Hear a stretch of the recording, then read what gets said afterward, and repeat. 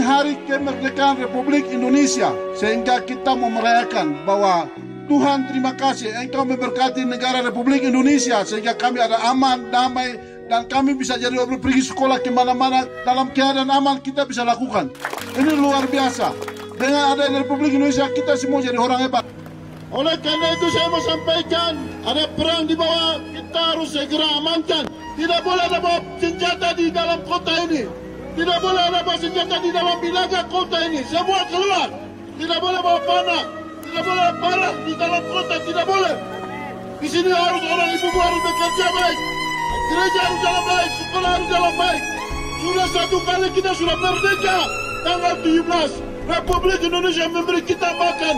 Kita sejahtera. Mari kita damai. Mari kita jaga dengan baik.